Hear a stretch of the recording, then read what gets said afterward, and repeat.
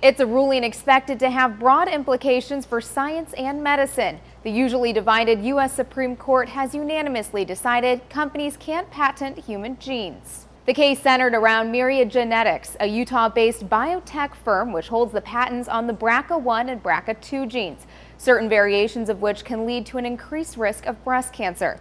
The question before the court was whether those genes were even patentable inventions.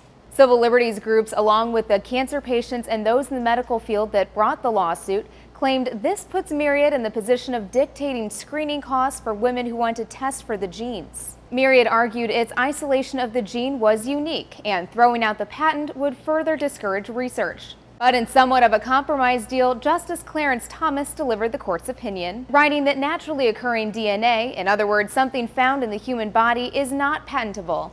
Synthetic DNA, on the other hand, is. This decision is certainly bad news for Myriad, the, the company that came up with uh, this patent and has now been denied the patent, but it doesn't seem to cut off um, the, the research. This now opens up research on human genes to scientists with other companies. Myriad's patents are set to expire by 2015. For Newsy, I'm Elizabeth Hagedorn.